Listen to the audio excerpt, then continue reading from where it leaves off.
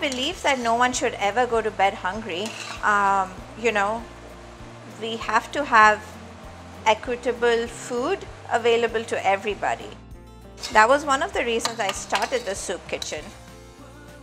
My name is Davina Mahapatra. I am the founder of the Dulles South Soup Kitchen.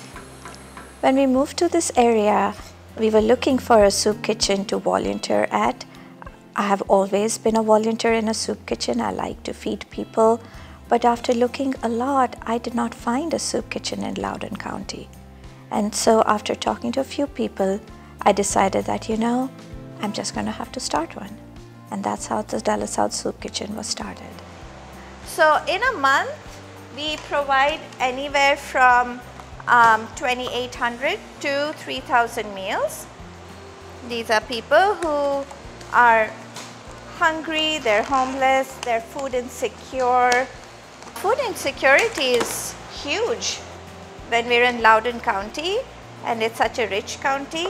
Hunger shows up as food insecurity where people need to make the choice of whether they should spend their money on rent or should they go buy grocery.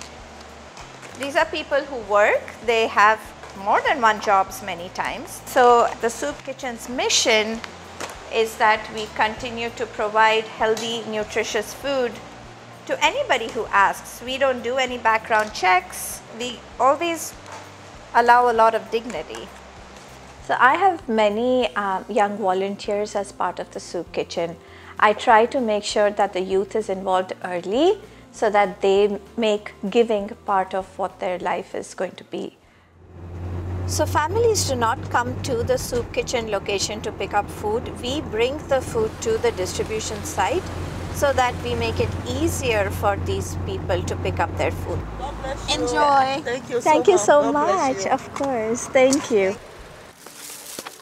No enough income. I work and I'm I'm here with my sister and we we just get by.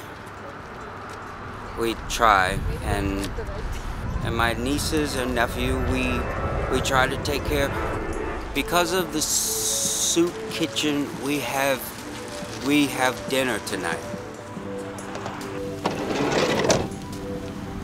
Five years from now, I expect to be distributing at multiple sites so that access to this food gets very easy.